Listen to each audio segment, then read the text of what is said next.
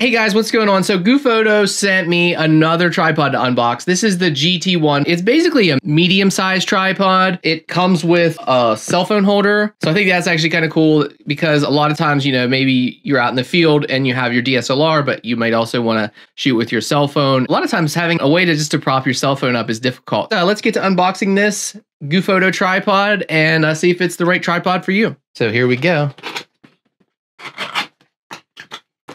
Ooh, I can already tell it's in a case. Nice. GooFoto on the front there.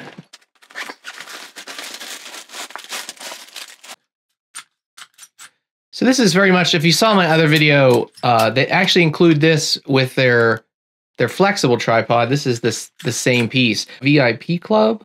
And then, of course, just instructions on how to how to use the tripod. All right, guys, so here it is. this is the main selling point of this tripod. You know, it's your standard tripod. It has all the normal controls.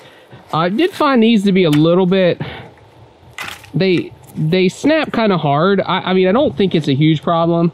So yeah, right here, we have my iPhone uh, 13 Pro Max, and we have it in this thing that holds it really well. It's, it's in there nice and good. And someone goes by in a motorcycle this is the main reason that you're to want this thing.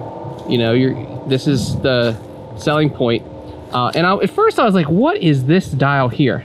And I was really kind of bothered by that. I was like, what is this? So I actually got the manual out and I found that if you loosen this, it actually allows you to tilt this to check that out. So that you can do like a vertical video.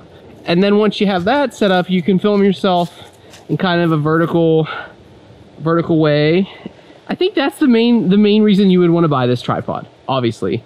You know, as far as that, it seems like it's built pretty well. It's aluminum and and plastic. It's got a little thing here to lower lower your shot down. You know, all the normal controls that a tripod would have with the added benefit of the phone the phone holder. Uh, it's also probably worth mentioning that this this type of tripod is good for for doing things like panning shots.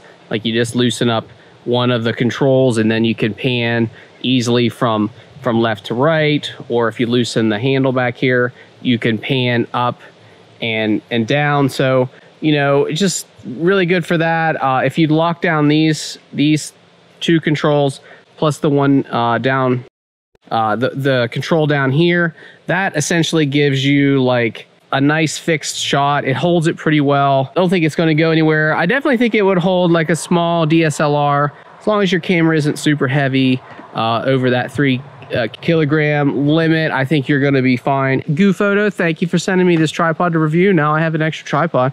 So anyways, guys, um, I've got a thing to get to, but so I've got to get out of here. But uh, until next time, uh, don't forget to subscribe. Check out the links down in the description and uh, and we'll see you in the next one. Peace.